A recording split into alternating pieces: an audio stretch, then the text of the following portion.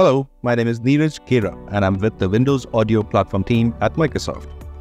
Welcome to the Windows 11 release notes for August 2024. Today we are showing you how to fine-tune your audio experience using the volume mixer in Windows 11. But first, a few highlights from this month's update. Please note that some of these are rolling out gradually and might not yet be available for your device. Let's start with a new feature for the Start menu. You can now drag apps from the pinned section of the Start menu and pin them to your taskbar for quick and easy access. Need a new tab in File Explorer with the same path as a current tab? Right-click on the current tab and select Duplicate tab. With this update, you can quickly navigate to open apps by using the shortcut Windows key plus T, then typing the first letter of the app. Lastly, this update addresses several issues where File Explorer did not appear, respond, or behave as expected. For details on all the improvements in this month's update, read the full release notes at aka.ms slash Windows 11 slash release notes slash 2408. Now let's take a closer look at the new volume mixer in Windows 11.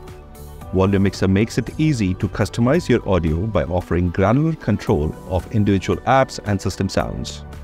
There are several ways to launch Volume Mixer, giving you the option to choose which is most natural for you.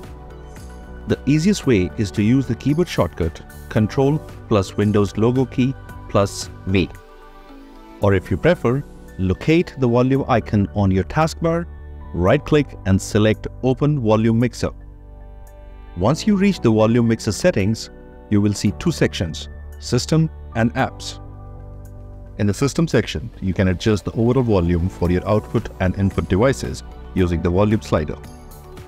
You can also select your default output and input devices. For example, you might use your computer's speakers and microphone, or you might use a headset. In the App section, you can adjust the volume level of individual apps open on your device.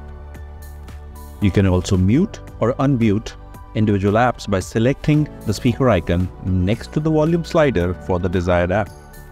For example, if you want to mute all content playing in the browser, select the speaker icon next to Microsoft Edge.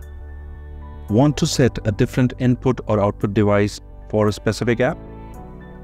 Simply expand the volume mixer settings for that app, then make your selection. You can change your volume settings and your preferred input and output devices at any time. The new settings will take effect right away. Are there Windows 11 features you would like to know more about? Share your feedback by selecting one of the buttons on the bottom right of the release notes page or leave a comment on any of our videos on the Windows Community YouTube channel at aka.ms slash Windows community on YouTube. That's it for this month. Thanks for watching.